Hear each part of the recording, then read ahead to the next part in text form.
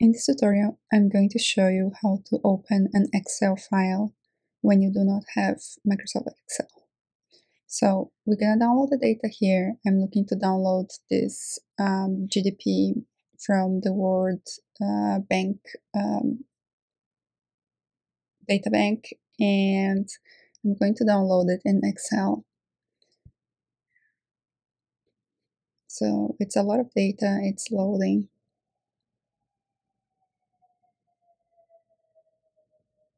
Right, it's downloaded. And I'm not going to be able, if I click on it, I'm really not able to open it because I do not have Excel. Okay, there is, however, a way to do it. Uh, so I'm gonna come to my drive and I'm gonna come to new Google Sheets and I'm just going to open a new blank spreadsheet. Now what I can do here, I can come to File, Import,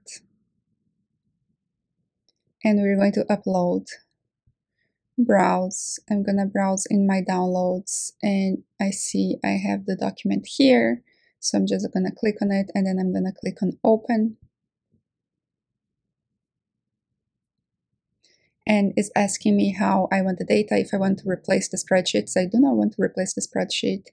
I want to insert a new sheet in the existing spreadsheet. Um, and that's it. Import data.